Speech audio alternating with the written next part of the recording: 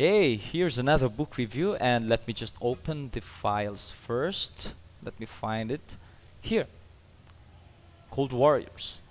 This is authored by the Seagrave couples and this book is about the recovery of the lost treasures not really lost but the supposed gold bullions and other treasures being transported to the US from mainly from the Philippines.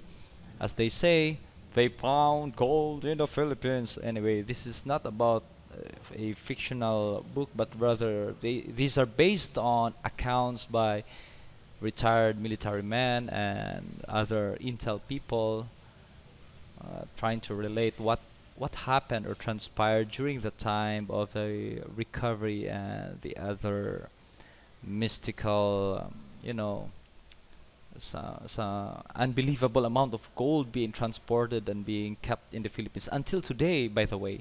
Now if you're interested to read this book just visit our website and get a copy of it.